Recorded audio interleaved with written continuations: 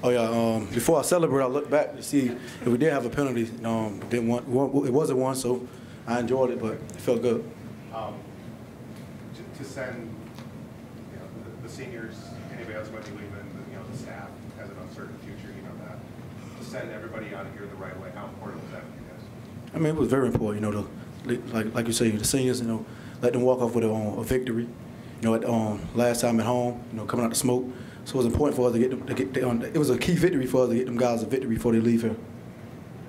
Mark, one of the things that um, Coach talked about was just the way you guys came out right after Georgia Tech scored that touchdown.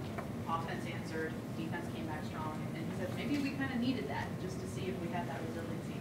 What were your thoughts on that, on just how you guys responded after that first score? I mean, we I mean we hold it, we hold, we hold each other accountable. You know, the defense had our back, we had their back throughout the game. So I think that touchdown just motivated us, and we, we came out striking at all cylinders after that. Mark, after everything, what's the confidence level? How has the confidence level of this team stayed so high?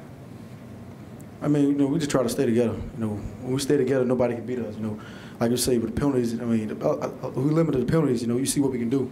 You know, we, we come out three games in a row with a lot of penalties, and it kills us. And so we just came out um, penalty free a little bit and just came and stayed together. Our coach credited your film study in preparation as to your big performances and just throughout, you know, the way you played this season. Would you agree with that, and what's the process for you, like, each week get ready to play? I mean, you know, we got, of course, we got meetings and things, but like on my free time out the class, out the study hall, when I get back to the dorm, I try to, you know, study my opponent and see what I'm going against and, and see what they like to do on third downs. You know, especially you know, they like people like to bring blitzes on third down, so I just like to um, key in that. There's only been two other freshmen, run for a score and catch one for a score in an ACC game here.